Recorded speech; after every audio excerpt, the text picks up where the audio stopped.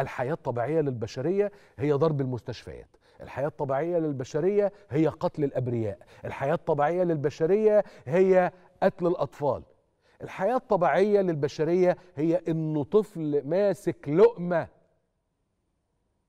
لازم مدام روث فيترمان تشوف هذه الصورة. ولازم الصورة دي تلف العالم. هتقول الصورة بتاعت لا مش دي. لا مش دي. طفل صغير ماسك لقمة في إيده عشان ياكل. بس طفل قتلوه. صورة يجب أن يراها أكثر من سبعة مليار نسمة يعيشون على هذا الكوكب. صورة يجب أن تملأ إعلام العالم. يجب أن تملأ صحافة العالم. يجب أن تملأ الفيسبوك ولا يقوم بحجمها. إحنا مش هنجيب لكم الصورة بتاعت الطفل. وشه مش هنجيبه. شهيد طفل صغير ماسك لقمة عشان ياكل. قتلوه.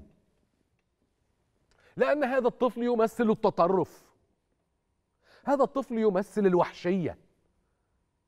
هذا الطفل في نظر إسرائيل ما هو إلا ضبع صغير. قاتل متطرف متوحش فوضوي.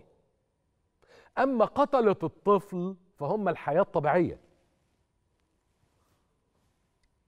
قتلة الطفل هم الحياة الطبيعية. حطوا الصورة جنبي كمان بالمناسبة لأنه لازم نفضل شايفين الصورة دي قدام عينينا. وكل واحد أظنه عنده مسؤولية حقيقية في نشر هذه الصورة. وإذا كان الإعلام والصحافة الأوروبية والأمريكية والغربية بشكل عام عندهم ذرة ضمير واحد ومهنية واحدة فلينشروا الصورة دي. السي إن إن لازم ينشروا الصورة دي. بي بي سي تنشر الصورة دي. القناة الرابعة البريطانية تنشر الصورة دي. سي بي إس تنشر الصورة دي. إي بي سي تنشر الصورة دي. فوكس نيوز تنشر الصورة دي. نيويورك تايمز تنشر الصورة دي. واشنطن بوست تنشر الصورة دي. وول ستريت جورنال فاينانشال تايمز اندبندنت جارديان ايكونومست فليكن غلاف الإيكونومست هو صورة طفل رضيع يحمل كسرة خبز. فقتل. السؤال اللي بعده. وليه محركات البحث ايا كان اسمها علشان بس من ما نخشش في مهاترات؟ أنتوا بتحجبوا الصورة دي ليه؟ ولما بنيجي ندور عليها ليه ما بنطلعهاش بسهولة وبيسر؟ ولازم نعمل اللي عشان نعرف نطلع الصورة دي على محركات البحث على الإنترنت. يا ترى هل ترى الصورة دي لما هننزلها على فيسبوك فالسادة شركة ميتا دعاة الحرية والإنسانية هيسمحوا لنا يا ترى بنشر الصورة ولا هتحجب لأنها تمثل التطرف العربي؟ طفل صغير يمثل التطرف العربي. طفل صغير يمثل الوحشية العربية.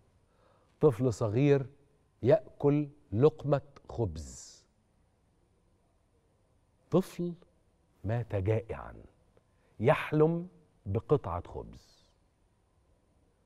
الطفل ملحقش يقرب اللقمة من بقه. إيه ده؟ إيه ده؟ إيده مقفولة على إيه؟ على عملة معدنية صغيرة. كل ما يملك من حطام الدنيا. لعله كان يفكر إنه يشتري بيها إزازة مية مش موجودة. ليس عصير فاكهة أو حتى كوب لبن. شوية مية مش موجودة. لعله كان يفكر كذلك. لعله كان يحلم بقضمة خبز قطعه صغيرة لقمة. يحلم. حلم طفل صغير إنه يسد جوعه بقطمة عيش. حلم طفل صغير هو قطعة معدنية مالية صغيرة يمكن يكون بيحلم يشتري بيها إزازة مية. إذا كان في مية في غزة.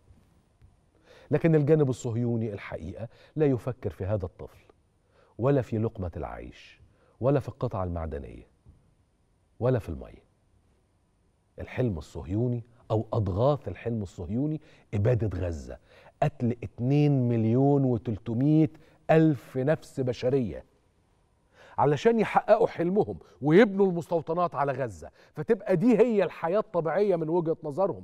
ابني مستوطنات. عالم يكذب ولا ينشغل حتى بالتجمل. يكذب فقط. غير مشغول بالتجمل. عالم بجح. عالم يقف حتى هذه اللحظة اللي إحنا فيها بلا مواقف. تقف مصر بمنتهى الوضوح أمام العالم.